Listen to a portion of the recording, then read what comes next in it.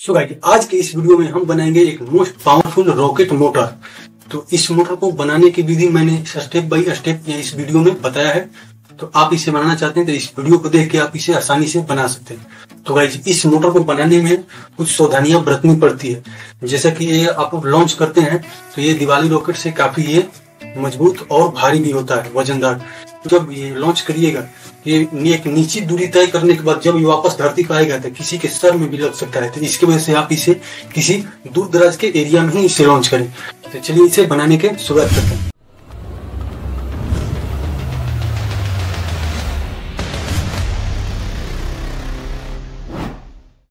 तो इस rocket motor को बनाने के लिए हमें चाहिए कुछ इस तरीके से पीवीसी पाइप और एक इंच का चाहिए होगी आप देख सकते हैं ये एक इंच का पीवीसी पाइप ठीक है? और एक चाहिए हेक्सा ब्लेड जो कि इस पाइप को हम मार्क मारेंगे सात इंची पर, ठीक है?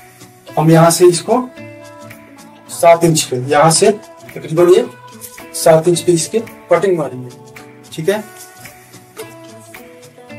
कुछ इस तरीके से कट लेना है। मैं इसको साइड में रख दे रहा हूँ, ठीक है? और ये है सात इंच, ये सात इंच है, ठीक है? अब इसको हमको इधर में रफ करना है अंदर में। ध्यान रहे ऊपर में रफ नहीं करना है अंदर में रफ करना है ठीक है?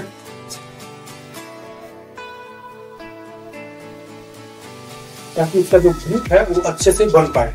एक साइड मैंने कर लिया और इस साइड भी करना है। सेम वैसा ही ग्रिप इसके इस, इस पार भी इसको बनाना है।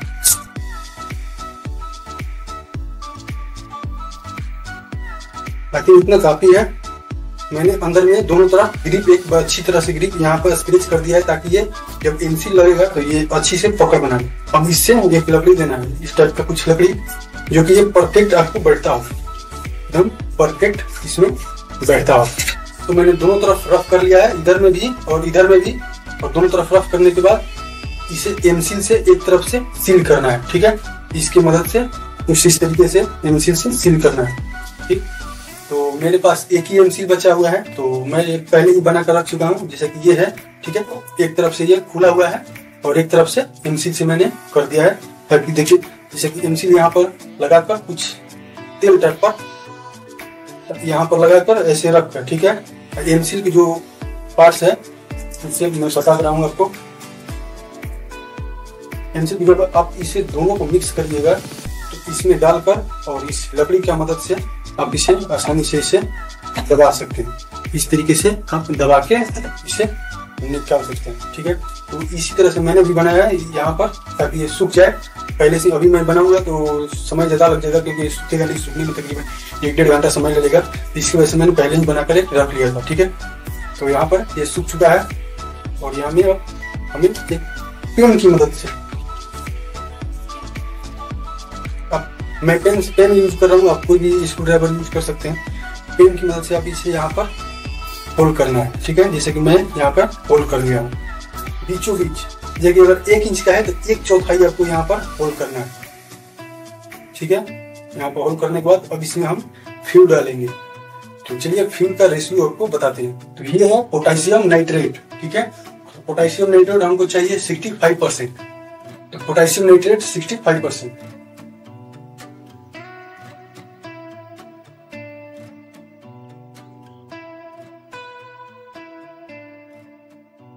और दूसरा फिर चाहिए हमें एक शुगर पाउडर शुगर पाउडर चाहिए थर्टी फाइव परसेंट जो कि टोटल रेशियो होगा सौ ग्राम का।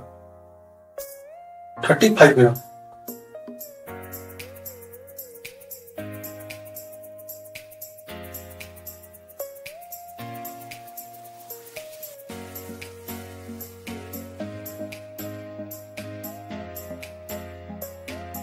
अब हमें इन दोनों फ्यूल को आपस में एक अच्छी तरह से मिक्स करना है। अगर हल्का भी चूक हुआ तो ये सही वर्क नहीं करेगा। तो इसे हम अच्छी तरह मिक्स करके आपको दिखा रहे अब इन दोनों फ्यूल को आपस में एकदम अच्छी से मिक्स करना है, ताकि ये अच्छे से जल पाए। अगर हल्का भी ये मिक्स नहीं हुआ अच्छी से तो ये वर्क नहीं करेगा। तो इसे अच्छी तरह से मिक्स करना है।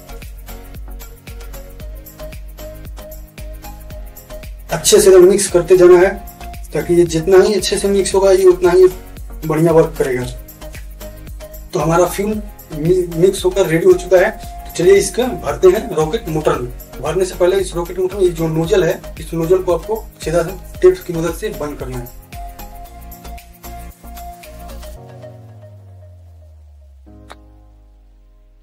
ठीक है, अब इसमें हम भरते हैं।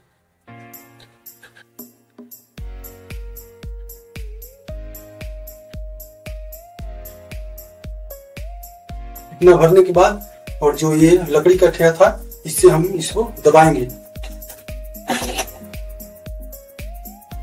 अच्छे से आपको टैप करना है, ताकि फ्यूल एकदम अच्छे से बैठ पाए।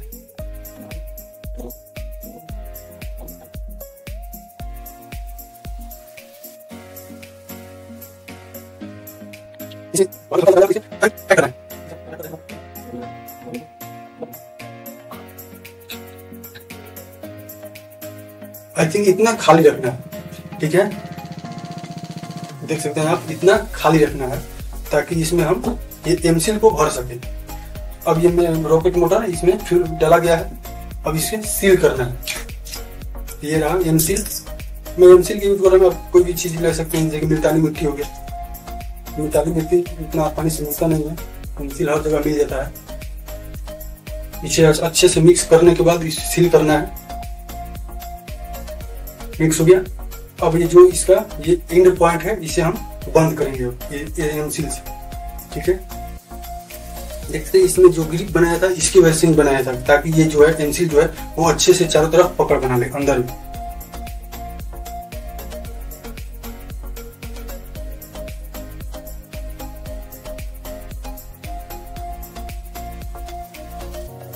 मैं अभी हाथ में मेरे लग रहा है तो इसको मोबाइल की मदद से तो भाई हमारा मोटर बन के रेडी हो चुका है। तो चलिए इसे किसी दूर दराज के एरिया में लॉन्च करके देखते हैं। तो भाई हम आ चुके हैं पब्लिक प्रॉपर्टी से काफ़ी कोसों दूर।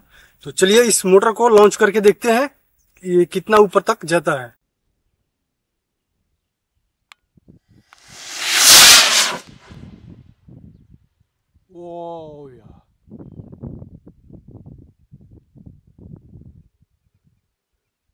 गाइस इतना दम तेज़ी से हुआ कि